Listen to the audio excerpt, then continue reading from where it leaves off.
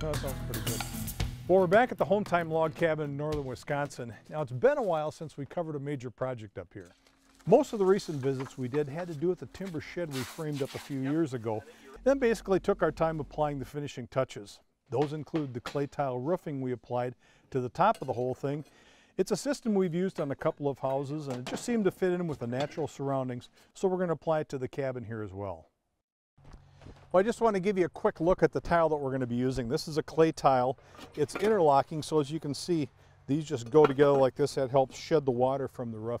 We're using a four color blend. We have a couple greens, a plum color, kind of like you see in the in the stone, and then sort of a gray color. And this is a product we think will last at least a good 75 years.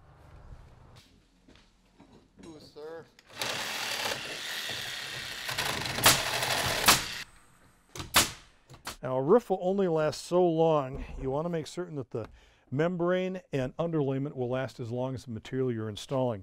The adhesive membrane goes on the eaves, rakes, and valleys, and then the underlayment goes on the rest of the roof. Now we just happen to be using an underlayment made by the same manufacturer that does so much of the house wrap that builders and remodelers are familiar with. Well, I have Keenan Watson here today to talk about the underlayment that we're going to be putting on the roof. So Keenan, this is uh, quite a bit different from the uh, 30 pound felt we put up uh, not quite, what, 30 years ago? That's right, yeah. So this is a new and improved synthetic underlayment. Uh, really excited about. This is our new line within Tyvek. We're going from the walls onto the roof. Uh, in terms of installation, uh, does it go on pretty much like any other roofing underlayment? So that's right. This install pattern is no different. We have a, a nice print plate on top that shows the installer where they need to place the, the caps and staples. So we recommend cap staples or cap nails. Okay. Um, and Overlay it, overlap it up to this. So point? there's your overlap, bring it on the next layer, and we recommend those caps for strength and, okay. and also water shedding. And what's the material makeup? What what goes into that? Yeah, so this is a four-layer system. On the back, there's a, a grip for a grip of the deck. On the top, there's an embossed pattern for walkability.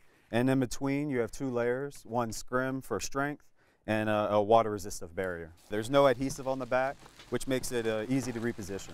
The other part is the unique texture on the backside. When weight is added to it, it allows this product to get grip to the deck. Okay, that, that makes sense. So what's the deal with this embossed pattern? You have like these little elevated triangles. Right, so that elevated loft is there for the walkability. Um, there's also channels to, to channel down water and in the instance of uh, sawdust getting up on the roof. This product was designed to help reduce the chances of slipping while on the roof. It's going to be a lot easier for our guys to move up and down that 812 pitch.